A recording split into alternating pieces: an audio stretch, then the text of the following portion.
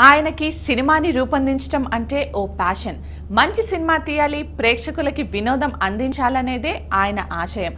వివిధ భారతీయ భాషల్లో సినిమాలని నిర్మించి అత్యధిక చిత్రాల నిర్మాతగా తెలుగువాడి సత్తా ఏంటో చాటిన ఆగనుడు మన దగ్గుపాటి రామానాయుడు. ఈరోజు దాదా ఫాల్కే సాహెబ్ గ్రహీత రామానాయుడు బర్త్డే. ఈ సందర్భంగా ఆయన ఫ్యూచర్ డ్రీమ్స్ ఏంటో మనకు తెలియజేశారు.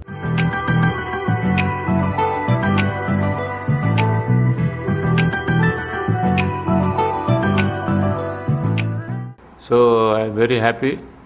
మిమ్మల్ని అందరిని కలవటం ఛానల్స్ వారిని మిమ్మల్ని కలవటాన మళ్ళా నా బర్త్డే అనేది అందరికీ మన టీవీలు చూసే వాళ్ళందరికీ తెలుస్తుంది. ఇప్పుడు నా లైఫ్లో ambition Punjabi picture last picture language picture పదమూడో లాంగ్వేజ్ పంజాబీ రేపు జూన్ నుంచి తీస్తూ ఉన్నాం.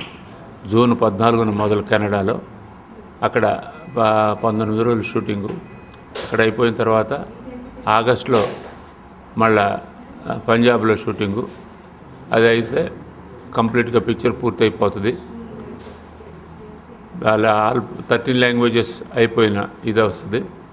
పదమూడు లాంగ్వేజ్లు పూర్తి చేసిన ఘనత సురేష్ ప్రొడక్షన్స్ డి రామానాయుడు బ్యానర్కి Suresh production బ్యానర్కి. That is my wish I will fish మనం ఎప్పుడు నంబర్ వన్గా ఉండాలనేది ఒక తపన. ఇవాళ ఏ నిర్మాత ఏ బ్యానర్లో కూడా పదమూడు లాంగ్వేజ్లు తీసింది లేదు. అది మన సురేష్ ప్రొడక్షన్స్ తీయటం జరిగింది. Really I'm very very happy ఇంకొకటే ఇకది ఇది అయిపోతే నా కోరిక మా కొడుకు వెంకటేష్ బాబు రాణా మనవడు నాగ చైతన్య మనవడు నేను నలుగురం కలిసి ఒక సినిమా చేయాలనేది ఒక కోరిక ఉంది. అది కనుక ఇదైతే really very very happy film ఇండస్ట్రీలో అది ఒక రికార్డుగా నిలబడిపోతుంది. ఫీల్ అవుతాం.